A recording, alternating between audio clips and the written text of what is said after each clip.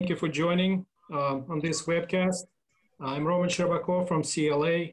Um, just before we start, a uh, couple of housekeeping comments and we'll make an introduction. So from housekeeping throughout the presentation, you will have um, some pop-ups for the polling questions. Please answer um, if you'd like to receive the CPE credit.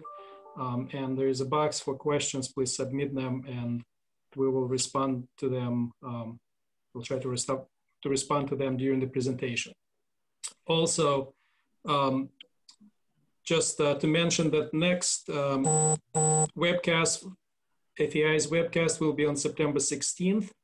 Um, and the topic will be Enoch Pratt Library, History and Renovation. We try to do it uh, in person in the spring, but for uh, because of COVID, it has been postponed, so we're going online.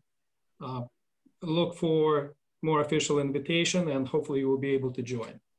So now we turn uh, to our topic, the, fu uh, the, future of working remotely. And I would like to introduce uh, two of our speakers, uh, Mike Volk uh, from PSA. So uh, as a leader of PSA's cybersecurity risk solutions and um, emerging task practice area, Mike Volk is responsible for helping clients make informative decisions about technology and cybersecurity insurance and develop strategies to reduce cybersecurity risk. Um, for the past uh, 10 years, Mike has worked in many, many roles uh, where he helped organizations and individuals navigate the complex cybersecurity landscape. Mike is engaged in the cybersecurity community and currently serves on the board of directors of Cybersecurity Association of Maryland. Phil Del Bello. So Phil is in the CLA Specialized Advisory Services Risk Management Group. Uh, Phil has over a decade of experience providing IT, security assurance, consulting, uh, and advisory services.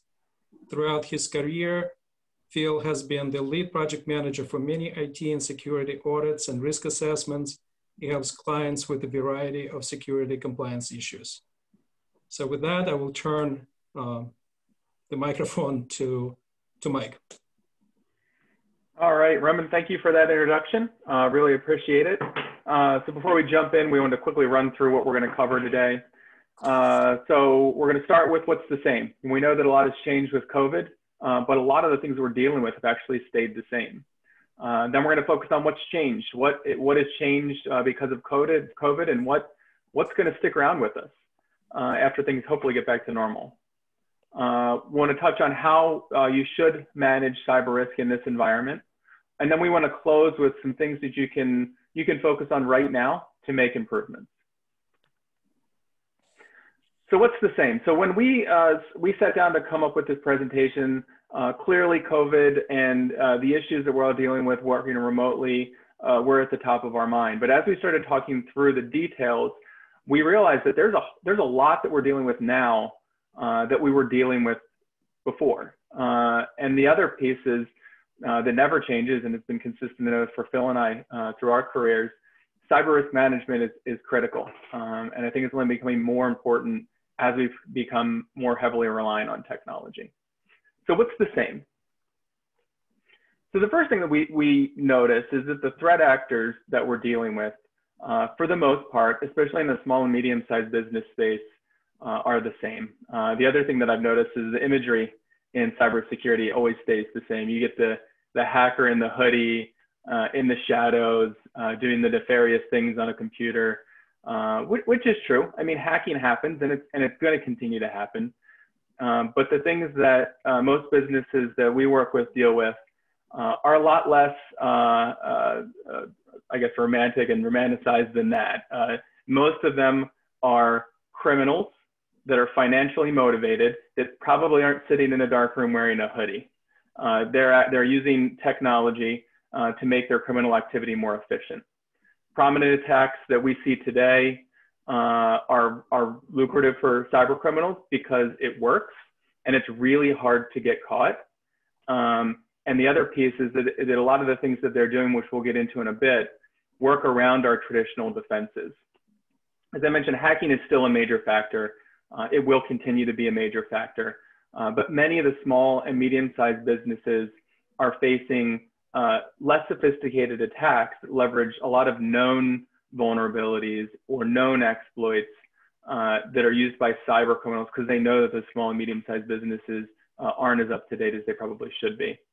Uh, and the final thing that's that's really hasn't changed, and even before cyber risk, fraudsters leverage fear, uncertainty, and, and our blind spots as humans to trick us. So whether it's a con artist or somebody using uh, phishing attacks uh, to trick somebody into to divulging information or, or uh, parting with their money, um, uh, criminal activity here is really uh, the same as it, it's always been. Uh, it's just again makes it, just a lot easier for these criminals to succeed because technology makes it so much more efficient. And we figured we would jump right in and hit you guys with a, a polling question on the first slide here. So that should pop up in a second.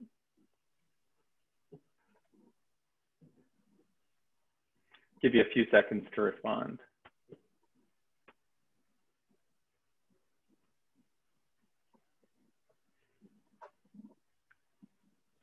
And this is one, social engineering attacks are just becoming so prominent. It's just, it's, it's hard to stay ahead of it.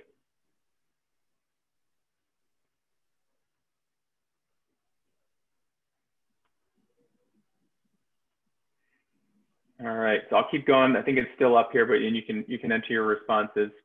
Um, go ahead and move to the next slide here. Looks like it's at the end.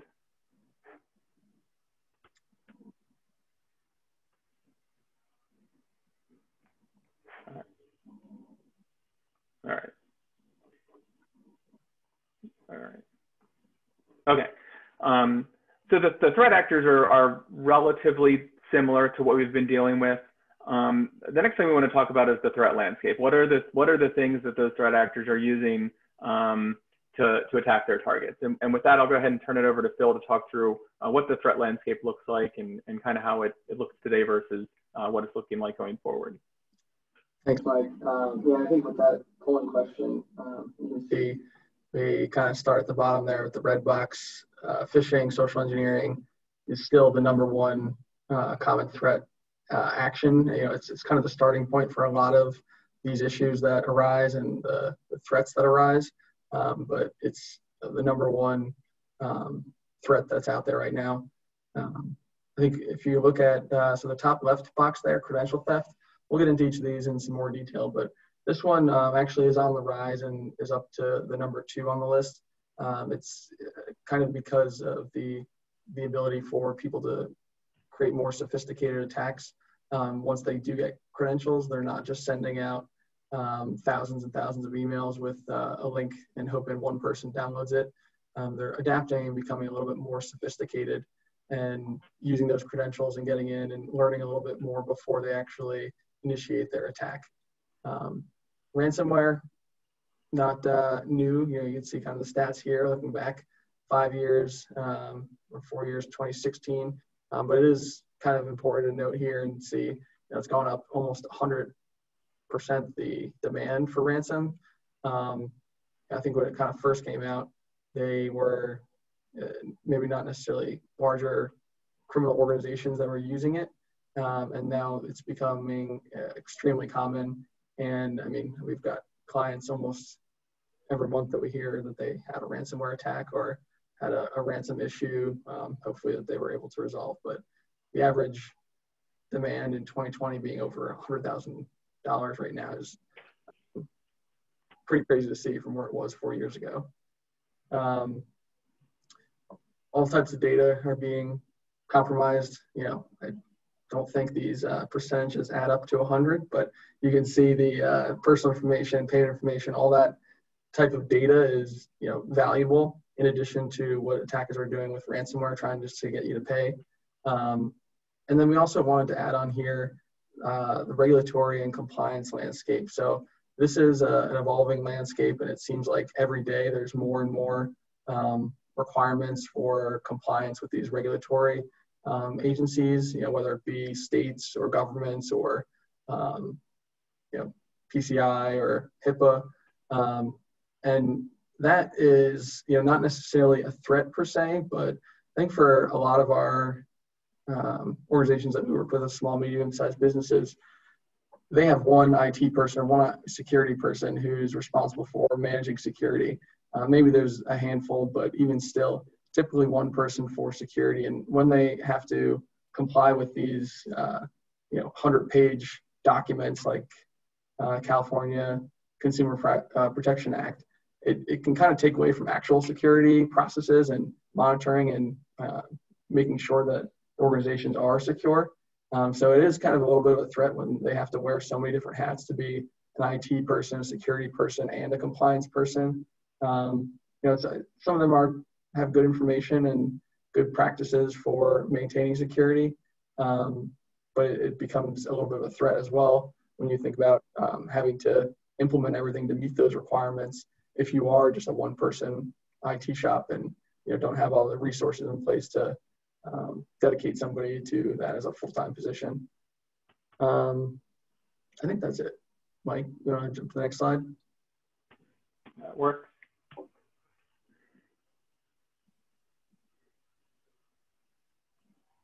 All right, so we're going to dive into everything kind of on the previous slide here in a little bit more detail, but wanted to definitely touch on credential theft and business email compromise. Um, email, obviously, a tool used by every company, um, every industry, uh, no matter what, pretty much. And it is a risk these days because of the amount of email phishing that's being done. The credential theft and email compromise is really just another form of phishing where they're not sending you a um, malicious software like a virus or ransomware. They're trying to get you to input your username and password or you know, reset your password or something like that so they can steal your information and then go in and log into your account um, after the fact. Um, it's very easy to set up these web pages that look, you know, this example here, it's uh, Office 365. Um, you can literally just go on any website, right click, save it, download all the images, all the source code for it, go to a GoDaddy page and upload it all. There's no, uh, you know, uh, copyright um, you know, people reviewing for copyright on websites similar to printed materials or anything like that. So um, yeah, maybe eventually they'll find it, but you can have a website up there and have all that information copied very easily and very quickly. Um, so it's, it's become uh, very common. And once they do get your information, um, able to log back into the account. I think with you know how sophisticated these are coming, it's almost very difficult to even be able to tell the difference sometimes between the the web pages and the URLs. Um, we've seen some examples where uh, the, the link will require you to log in. Once you type your username and password, it will redirect you to the actual Office 365 page. And um, it'll be a, a page that displays, and maybe they have a script that runs and tries to put some credentials in. So when the page loads, it says, you know, username and password incorrect, please re-enter. When you re-enter the second time, you get in and you don't even know that anything happened that uh, you just gave your information away to a malicious attacker. So they're getting very sophisticated and using that information um, to get into your emails. Um, you know, we've I've had a, a, client where this kind of situation happened. They had a attacker get into their email.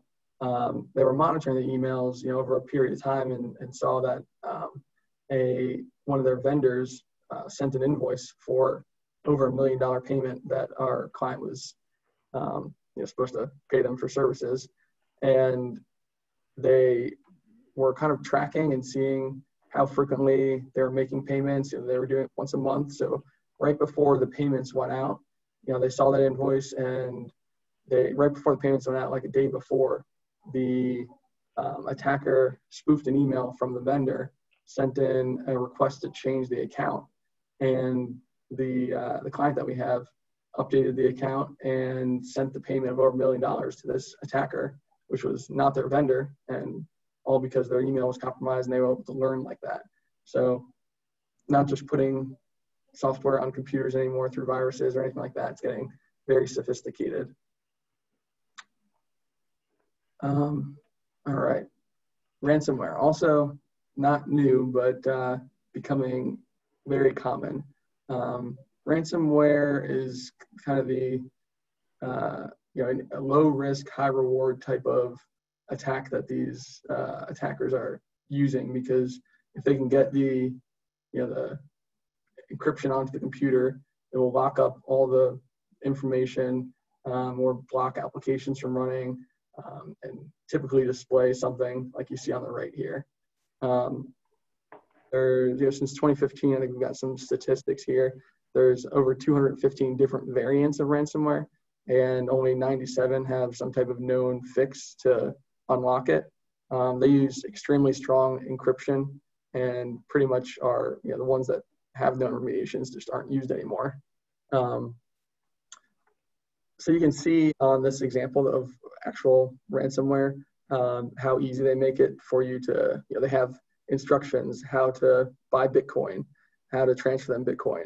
There's even a tab, if you can see there, for chat support. If you are having issues with sending them the money, uh, you can chat with, I don't know who it would go to, but um, chat support. And so a really nice criminal. yeah, yeah, probably a very friendly person who you're about to send uh, 0.4 Bitcoin, which on this one is about 2,500. I think right now 0.4 um, would be about $5,000. Um, so they make it easy and they want you to pay the ransom, obviously, you know, and not try and get your information back on your own. And another way that they uh, try and pressure you into that is by having this countdown clock on here. So you have got basically three days until the price and the ransom doubles. Um, so they pressure you that way, try and make you, you know, if you don't have the ability to recover from a backup um, in three days easily and get all your systems back online, you may be, you know, thinking, should I pay the ransom? Should I not pay the ransom? Um, and I think you know it's obviously if you pay the ransom, you're incentivizing them to continue to uh, have more ransomware out there, and it's a successful way to do it. But um, a lot of organizations do end up paying because they have no other way to recover their backups or um, get their information back, um, and you know just have some downtime and lost revenues, and so they do pay the ransom. And I think some situations it's it's not guaranteed that it works. Sometimes it does work. Sometimes it doesn't work. You know, so it's not not guaranteed that way either. Um, you may just pay and still have all your information locked up. Um, I think the only other point here is uh, that they do use Bitcoin or some type of cryptocurrency, which is pretty much the the cash equivalent that can't be traced. You know, it's not like they're asking for a, a wire or anything. Um, it's the cash equivalent of a electronic money. Um, so it's very hard to trace that through to the account that it's going or you know where it ends up uh, once you send it. So that's kind of a tool that's allowed them the, the rise of those cryptocurrencies over the past you know, five years or so um, to be able to successfully um, have more ransomware uh, software out there. I think we have another polling question on this slide as well. We do.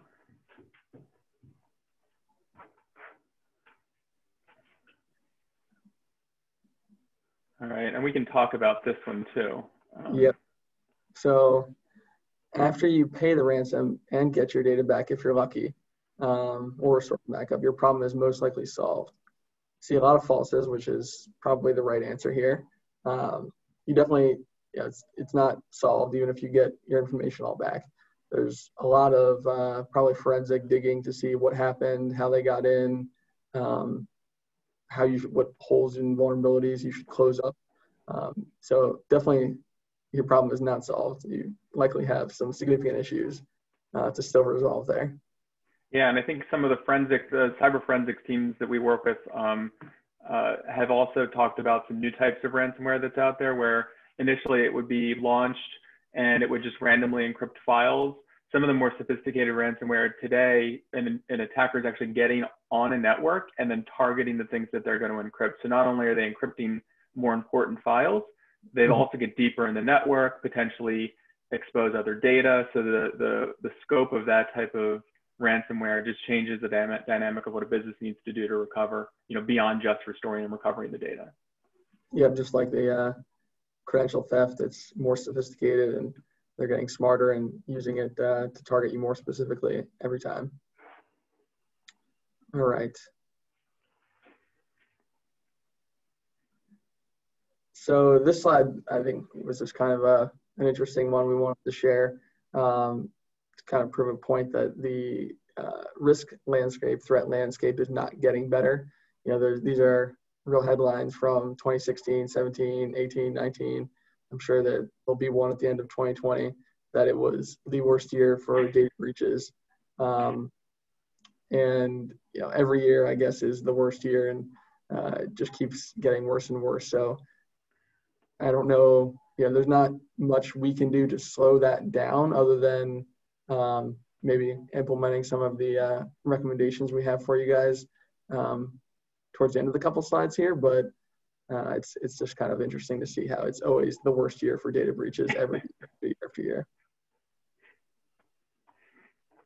All right. So so we've covered a little bit about uh, what's the same, and a lot of that you've probably heard, but of course there's always uh, changes to the, the, threat landscape and, and the techniques that the criminals are using. Uh, now we want to dive in a little bit to, to what's changed. And a lot of this is being, it's either being prompted by uh, our response to COVID, um, and it's also being prompted by just a natural progression um, to being more reliant on technology, working remotely, and a lot of other factors that, that were happening anyway. Um, so what's changed? Well, a few things.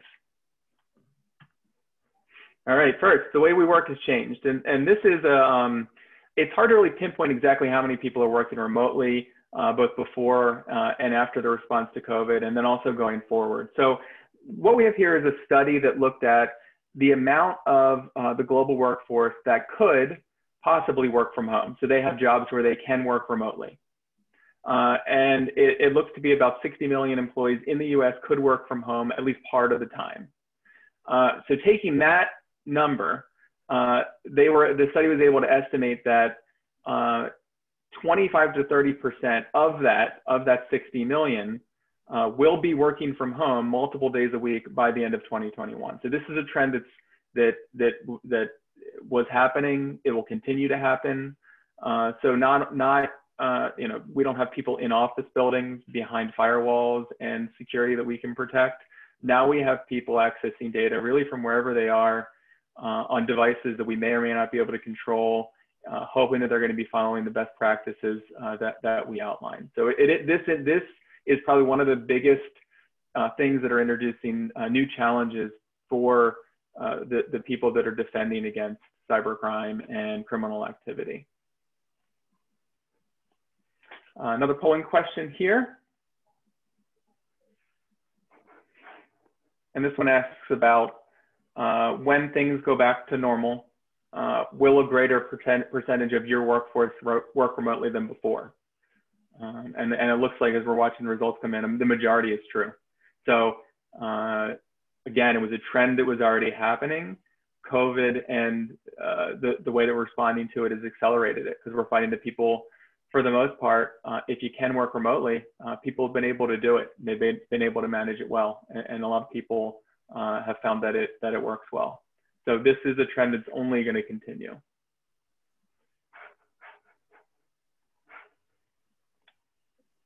All right. So what are the implications of this? Uh, well, it changes it changes the way we we look at networking and, and, it changes the way we look at security. So the rigid uh, network security best practices of yesterday, that is, you have a, a network, it's at a physical location, you've got data on machines, maybe it's in a data center that's uh, that's physically there. You can build your strong border around that that data and the technology, and you can keep people out and you can manage what people inside are doing. Uh, well, that, uh, that border uh, has been slowly evaporating uh, into the cloud uh, over time. And, and, and, we're at a point now where it's, it's almost gone. So the border evaporates. Most of our data, the secure data that we're trying to protect, uh, has now shifted from that on-premises data center to more of a cloud data center. So we've got uh, cloud applications that have replaced file servers. Most of us are using uh, cloud-based email, email. Think of Office 365. Uh, if you've got any uh, customer relationship management, enterprise resource planning systems, a lot of that stuff is shifted to the cloud. So that, that data that's important to the business, those, those applications that enable the business to run are now in a cloud environment. And this, there's a lot of benefits here. Um, I think Phil mentioned early on that many businesses, especially small businesses, have an IT person and they manage everything from day-to-day uh, break fix issues to security.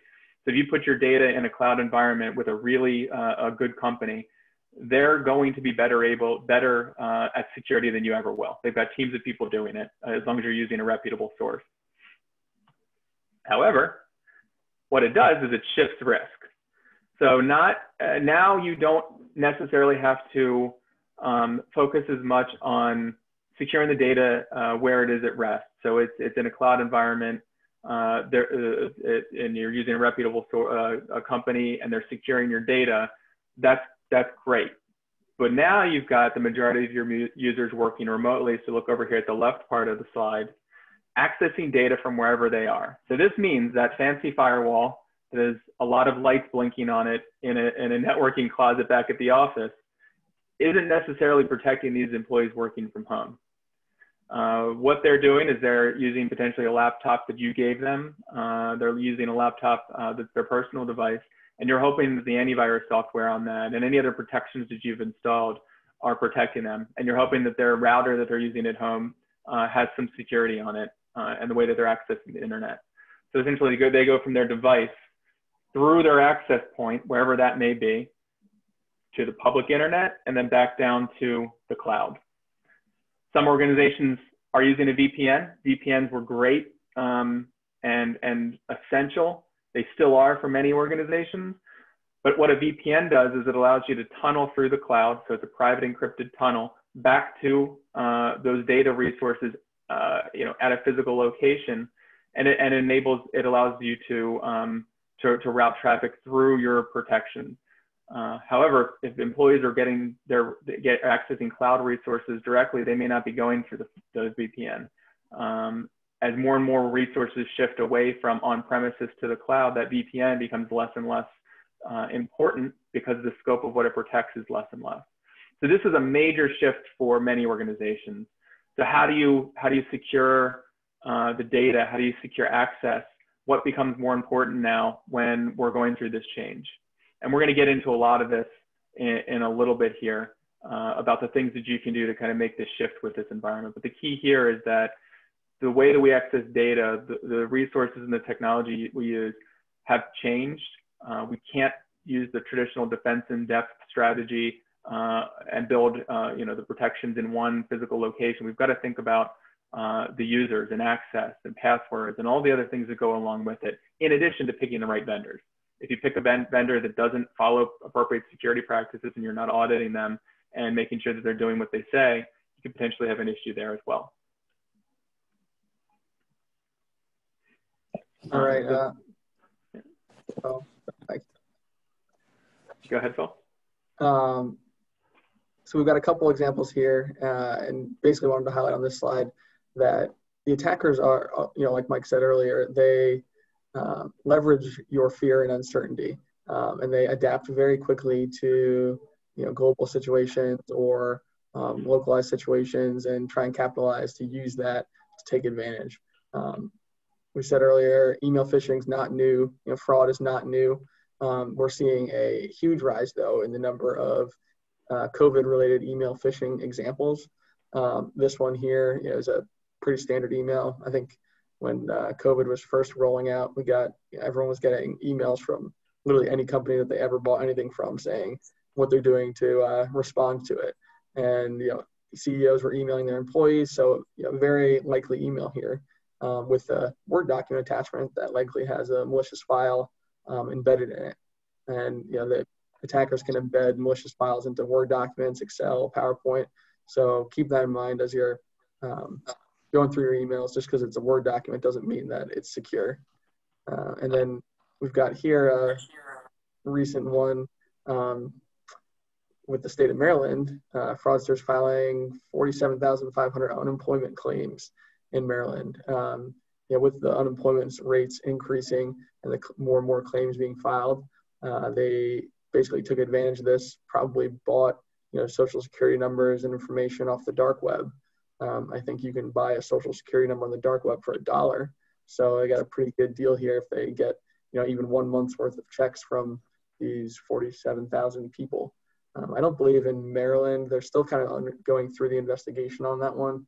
Um, I do know that the investigation has caused a freeze on some legitimate unemployed people to uh, are not getting their benefits currently, but um, hopefully they go through that quickly and uh, can get that resolved. Um, Maryland's not the only state either. I think Nevada had like a 200,000 um, claim fraud recently. You know, Ohio's had a fraud um, related to unemployment claims. So Maryland's not the only one. It's it's become a, a pretty big issue um, that attackers are using to uh, you know, adapt and take advantage of this situation that we're in right now.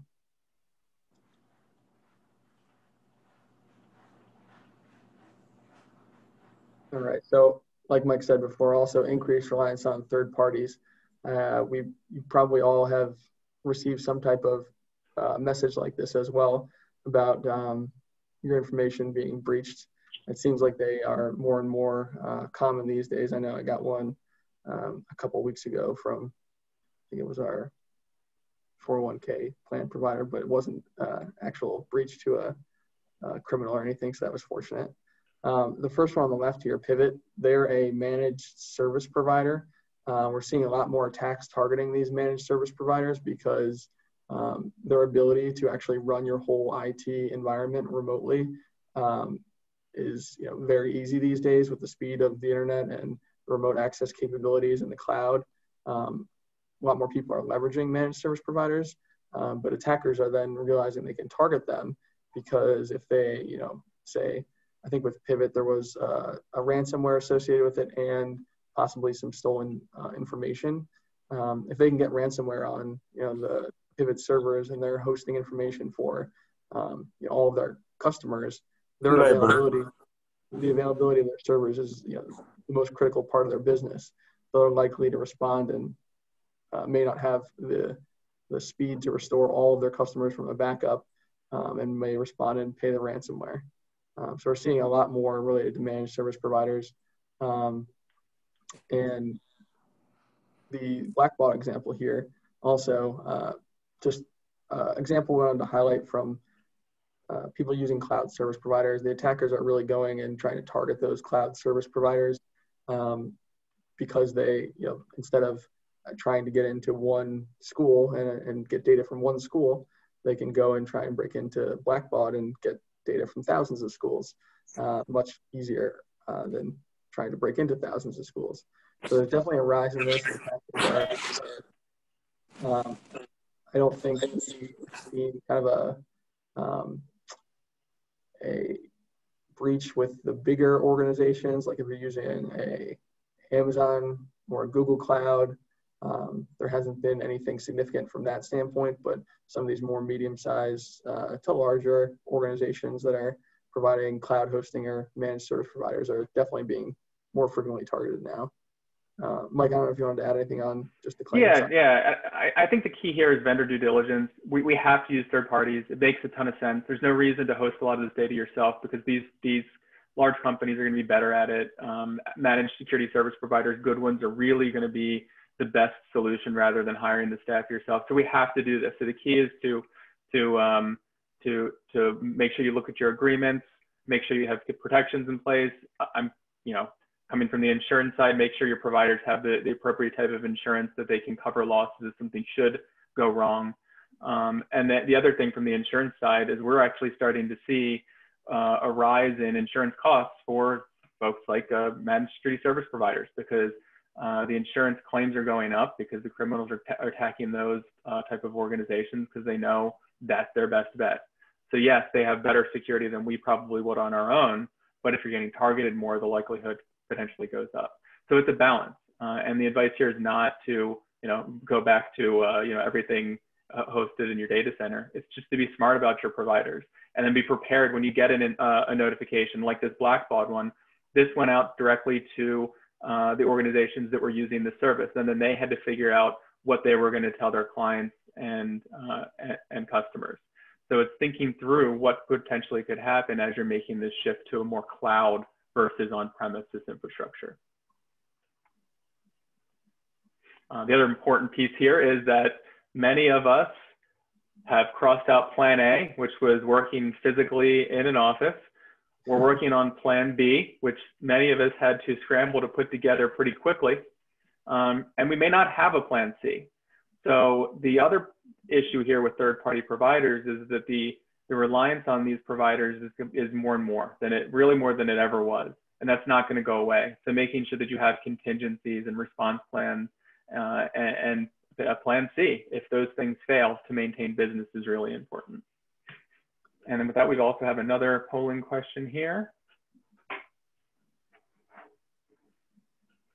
And this one probably, we probably know where this one's going as well. Is your organization more or less reliant on, relying on cloud applications and third-party systems? I don't think I've had any clients, uh, you know, build a huge data center in-house recently or yeah. uh, bring anything in-house that they can't just put in the cloud. Yeah. Uh, it's a lot more cost efficient and um, operationally efficient. Mm-hmm.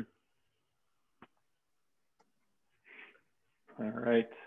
Yeah, overwhelmingly more. So, all right.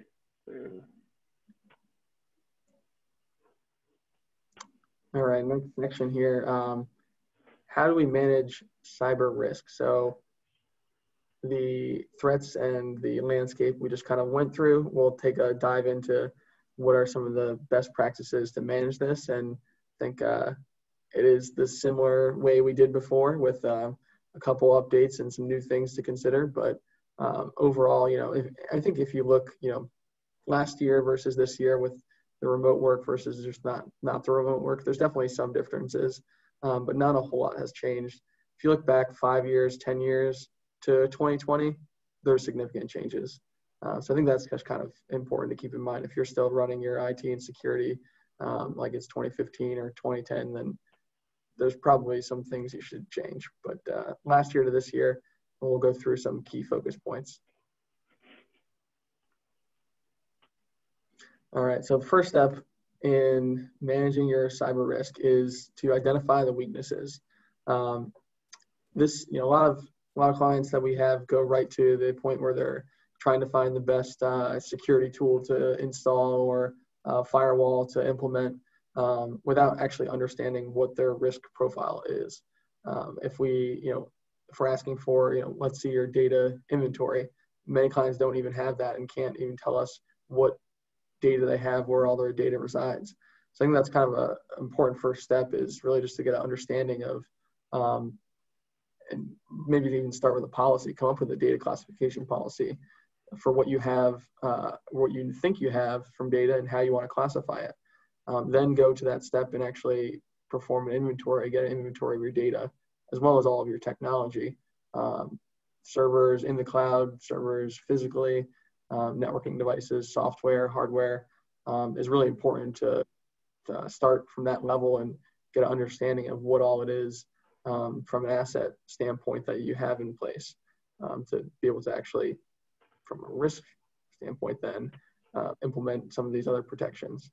Um, vulnerabilities, uh, your back door might be locked, but the window, or your front door might be locked, but the window in the back of the house is still open, kind of thing. Um, it's really important to make sure that you're doing a, a, full scale vulnerability assessment that includes, you know, external penetration test as well as the internal kind of audit phase, having someone run a, a fully uh, full scope um, assessment to identify all your vulnerabilities, um, and to do that you know frequently enough where if you are making changes and there will be new vulnerabilities that you're able to identify them and come up with an action plan.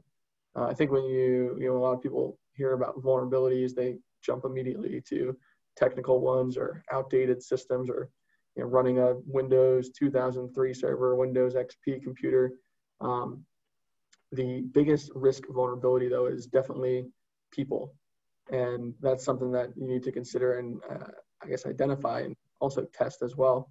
Um, similar to doing a vulnerability assessment or a penetration test, uh, doing a email phishing test, I think is one of the, the biggest and most important recommendations. Um, doing that, you know, we almost recommend doing it monthly because you just can't do it enough and take a sample of your employees, kind of divide them up and um, test it once a month, just a, a, subset there, so you can get a good understanding of what your weakness really is. Um, we have uh, one client that has a policy where they actually don't even email internally at all. So if you get an email internally, it's most likely going to be spoofed. Um, they use Slack or like Teams to communicate internally strictly and would never send internal emails. Um, so that's kind of an interesting approach, but may not be you know, work for everybody. Um, and then I think also with kind of that people vulnerability thing, the the training and awareness of it, um, it's really not enough to just show them how to hover over the link or look for a spoofed email address anymore because it's getting so sophisticated. Um, we've been kind of working with you know security awareness training and things that we're doing to communicate that it's more of a, a mindset and getting and training the employees to uh, realize is this a, an email that I would typically get, um, not to react to emails um, and and just to you know look at it for from a holistic picture and um, is this something that I would really even should be getting or is it uh, something that you know we that probably is a spoofed email or a malicious email. Um, strategy and governance too, also very important. Taking pretty much everything from the data, technology, vulnerabilities, as well as all your policies, procedures, and performing and doing a more of a comprehensive security risk assessment.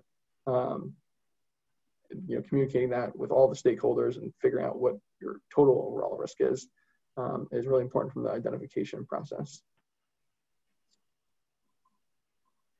All right, and this, I think, uh, this next slide, so this is kind of what Phil alluded to in the beginning. So the, the, the way that the, the tactical protections that we have in place have evolved and will continue to evolve.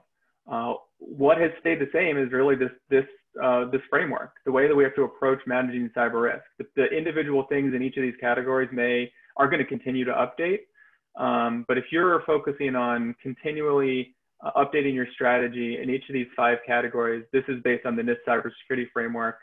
Uh, it, this is going to help you keep up. And, and cybersecurity, unfortunately, is not something that, that's static. It's something that you have to continue to work at.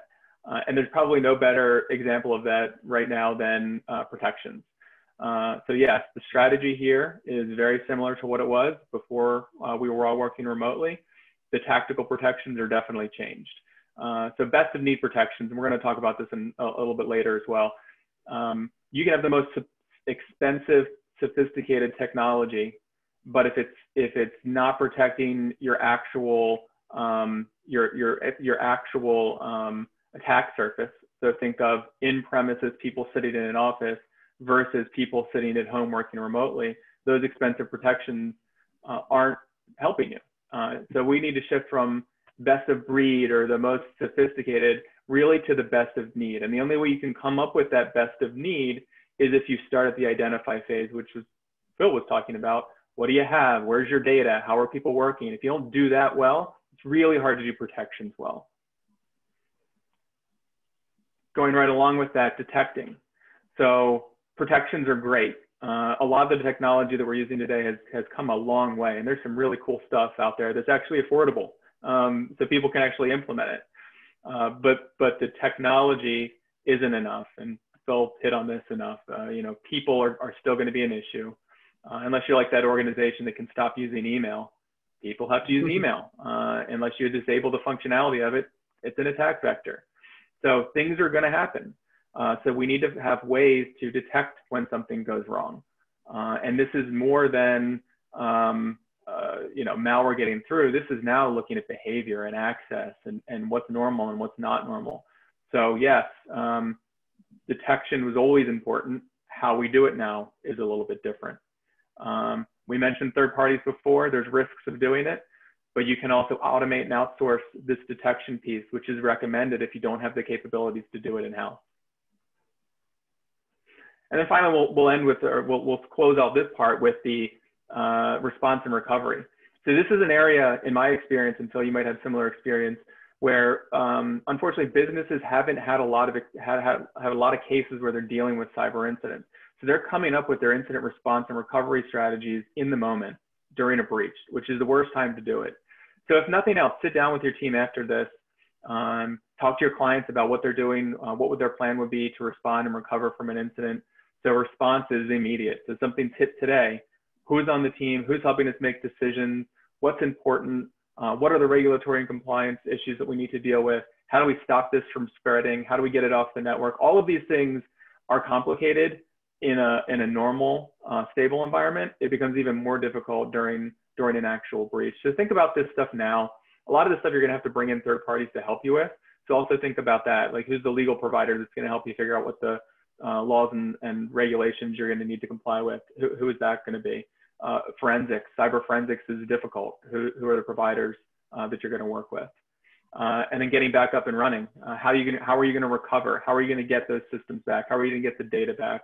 How are you going to recover your reputation? These are all things that you should think about before you have an incident as best you can. Uh, and, and this is, you know, any plan that you come up with here uh, is great when it's when it's sitting, you know, on a drive someplace uh, when you implement it, things are going to go wrong. But having no mm-hmm. plan at all is is really not the strategy right now. Yeah, and hopefully don't keep it on just one drive or something electronically that uh, could get uh, locked out by ransomware or uh, not available if uh, you do have an incident. Absolutely, yeah. Print it out, maybe. I'm not a fan of printers, but hey, this is an this is a use where you might be able to. to Cloud's to, always good too. Yeah. All right, another poll question here.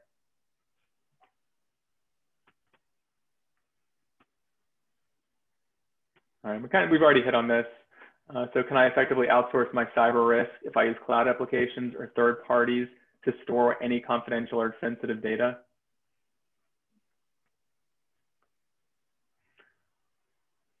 And I'll talk through this kind of as we're going through it here. Um, so again, you can shift risk.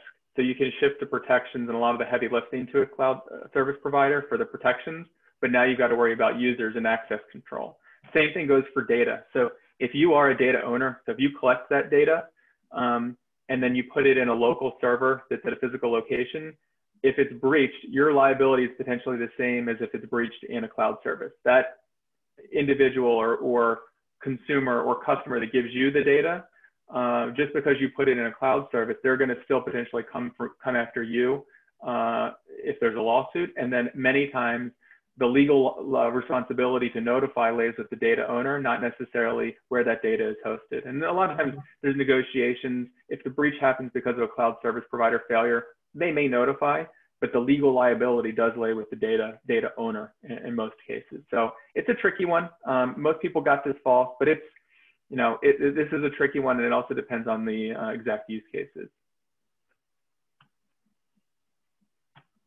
All right. Okay, we're getting up here towards the end. All right. Um, so taking a closer look at your remote workforce, uh, I think when you know, everyone was kind of forced to pretty rapidly move to a remote workforce, um, and now you know that it's been a couple months, uh, it's time to definitely time to go back if you haven't yet and reassess the risks and security of the remote workforce and the remote employees. Um, it's you know, one of the biggest things that we have right now and are all these uh, organizations that allow just you know remote desktop access right into these uh, desktops in, in the offices and didn't really secure that. Um, we had one organization that allowed the individuals to actually bring home their desktops to their houses and plug them in and use them there. And uh, you know, those are probably not uh, you know, don't have the same level of security that a traditional laptop or mobile device would. They probably don't have full disk encryption on a, on a desktop that's at someone's house now. And since it's outside the office, it's really becoming a, a mobile device. So we got to go back and kind of address some of these questions here. Um, who is permitted to connect remotely? You know, do you have a, a policy in place, formal approvals, a periodic review that you're doing of those users and make sure that they're still all appropriate and necessary? Uh, what are they permitted to access? Um, obviously still use a least privilege model and maybe even your you know data classification policy that you just wrote up from that identify uh, slide a couple back and kind of identify, you know, define what they are permitted to access. If it's applications or specific data, you may not want data being accessed remotely.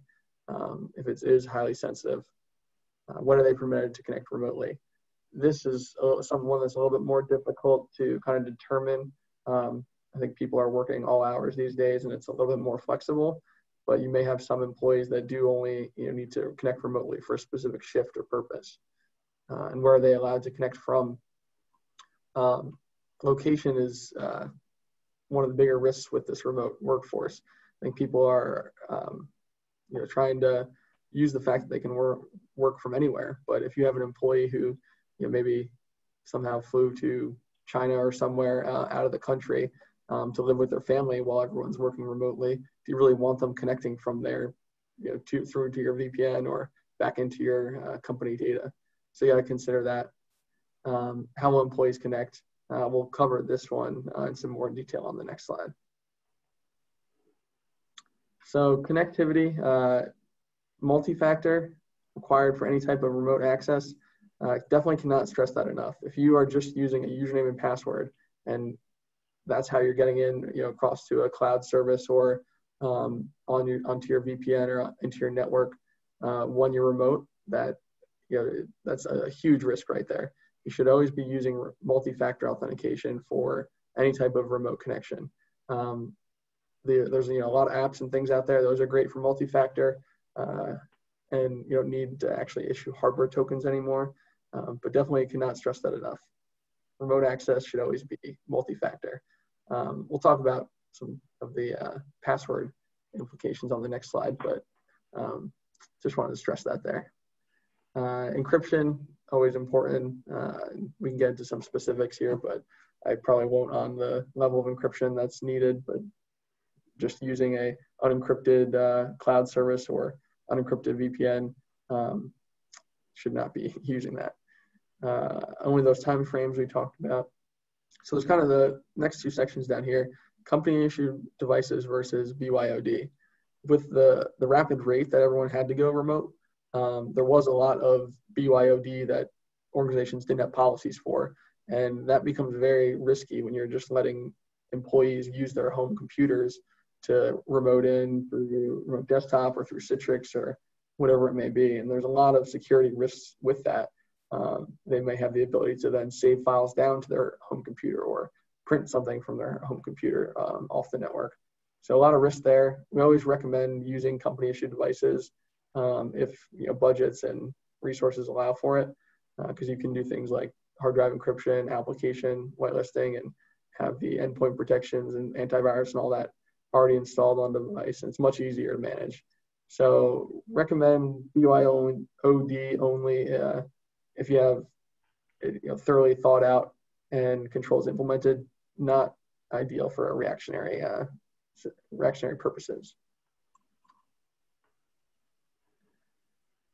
All right. Um, protections against credential theft. Uh, I could talk about passwords probably for a whole other hour if we wanted to. Um, passwords are something that's uh, always a hot topic. Everyone hates when you increase the length of passwords and have to remember 50 million passwords, but um, we don't have, we're not at the point yet, which I'm not sure why. Our computers and everything is not you know, using biometrics like our phone does you know, with the phones and iPads or whatever, you can set it up and I don't have to really type in any passwords on my phone ever. It just looks at my face and stores them all. Um, so until we get there with uh, laptops and desktops and actual work computers, um, you will still have to use passwords. Make sure you have a policy and that that policy is enforced. Uh, password managers are good devices to use and good tools. Um, I would say that maybe don't use them for your most sensitive or critical data to get access to it. You wouldn't want to use um, and store your password unless it's you know extremely well encrypted for all of your administrator access or things like that, um, or to your, your bank information. Um, but they are good to use. You know, we allow it here at CLA for not for accessing our client data system, but for anything you know on a website or um, easier or less lower risk things there. Um, changed often. This one uh, kind of can be talked about from two um, standpoints. The industry guidance on passwords changes very often. Um, it used to be, you know, eight characters. As long as you had some dollar signs and symbols in there, you were going to be secure.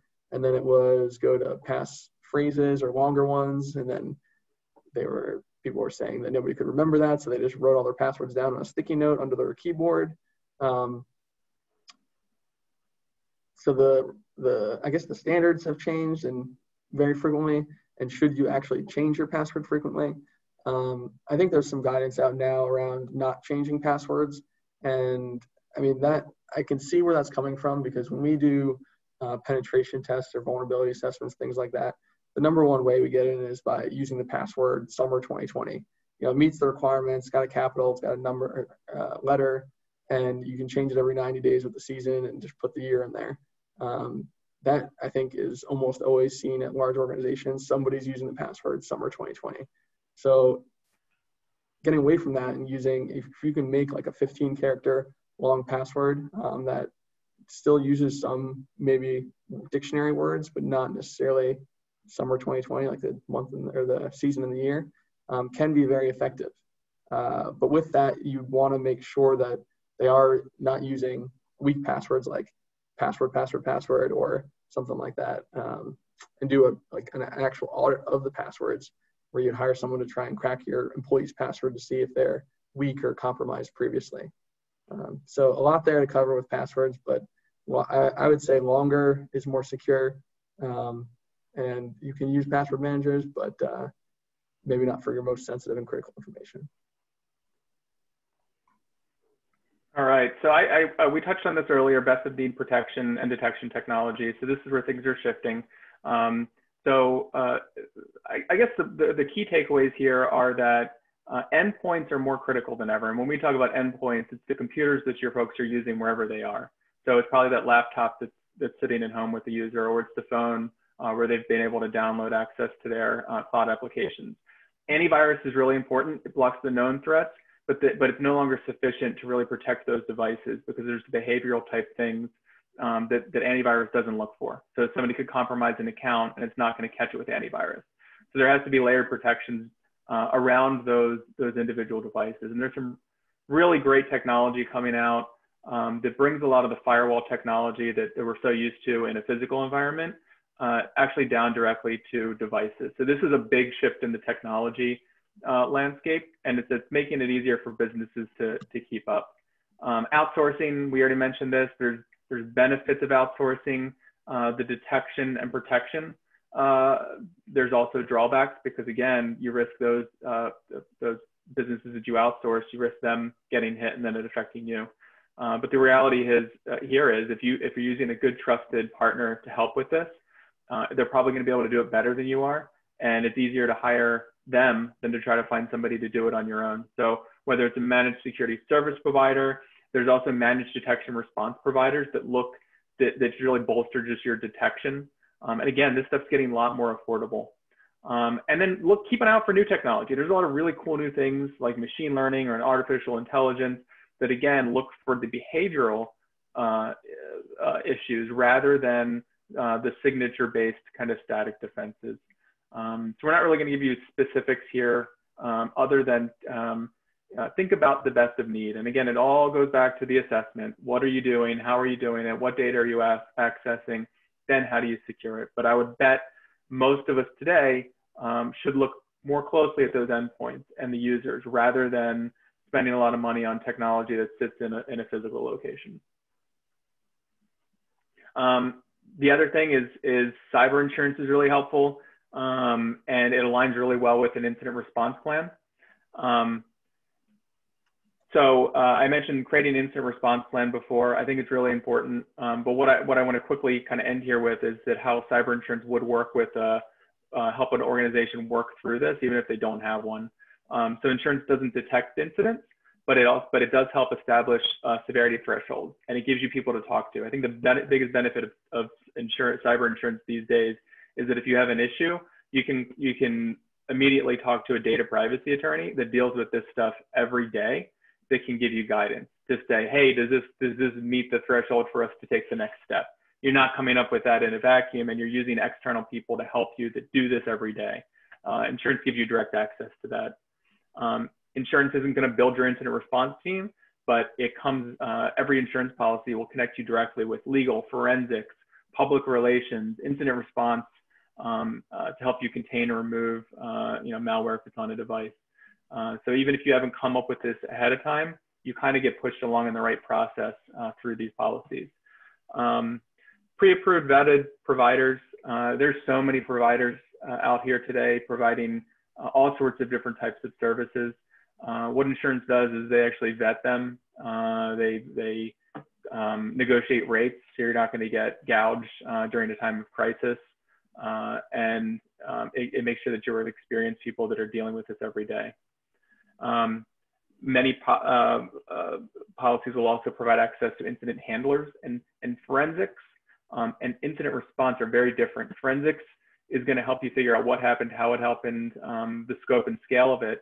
Incident handlers are, are kind of like the fire department. They're going to come in and, and they're going to help put the fire out, uh, make sure that you know the ransomware is not spreading to other parts of the network, make sure it's contained, and make sure you can actually get into a stable environment to do that, that investigation. Uh, very important uh, for incident response.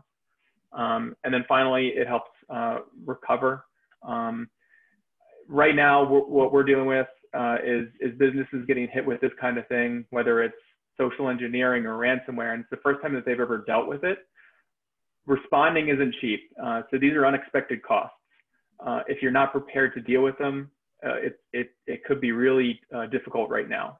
Uh, so making sure that you either have a reserve fund to, to deal with this kind of thing, um, making sure that you have the right insurance, making sure you know what the deductible is that you're going to be out of pocket, all of this is really important to think about now rather than when it happens. Uh, and what I've got over here on the right-hand side is, is the high-level essential elements that you need to consider when thinking about incident response. So it's detecting an incident, um, engaging with an incident response team to help coordinate your response, bring in legal early on. The reason you bring in legal is because they're going to actually coordinate the response, essentially your quarterback to help you respond. Um, and anything that you tell them, anything that they pull in with the investigation is covered under attorney-client privilege. So if you are pulled into a lawsuit or regulatory investigation, uh, anything that you uh, work through your lawyer with will be protected. So if you start running out and doing this on your own and telling people what you have a, a major breach, um, none of that's protected. If you funnel it through a, a lawyer, uh, it is, including forensics. So they're actually going to bring in the forensics investigator, and that um, the report they come they come back with is is going to be a privileged work product. Um, contain and eradicate, make sure that the you know anything that's on a network isn't spreading, um, and then you have to recover and then think about lessons learned so it doesn't happen again. Uh, so I guess this is kind of an appropriate place to end. Uh, this is really the tail end of what you would deal with if you did have an incident. Uh, hopefully this has been helpful today. Uh, gave either you some things you can think about with your own organization or maybe some things you could potentially share with a client. Um, if you have any questions for us, um, we're out of time. We're about three minutes over as it is. Um, but here's our contact information. We'd be happy to to hop on a call or respond to email. Um, anything that that uh, you know you didn't share here that, that you'd like to talk about, feel free to reach out. Um, Mike, we can. I mean, I can stick around too if there's any other questions. I saw one come in um, uh, asking if we have a checklist on where to start, and I am not sure on a checklist per se because it does get very specific. I mean, I'd say definitely take these slides and start with the uh, the NIST framework. Make sure you've got policies, procedures for identify, protect, detect, uh, respond, and the fifth one. Um, but I would say take these slides and start there. Um, or reach yeah. out to us if and we can help find you something a little bit more specific. Any other questions?